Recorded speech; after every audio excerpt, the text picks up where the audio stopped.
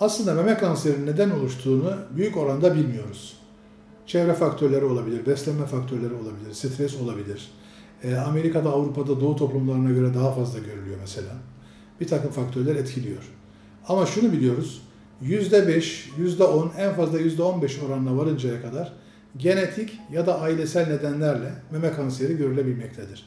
Yani biz eğer bir ailede genç yaşta meme kanseri görülürse, erkekte meme kanseri görülürse, iki taraflı meme kanseri görülürse, birden fazla yakın akrabada meme kanseri görülürse şüphelenmeliyiz, genetik test yaptırmalıyız ve o ailedeki kişilerin daha fazla risk altında olduğunu bilmeliyiz.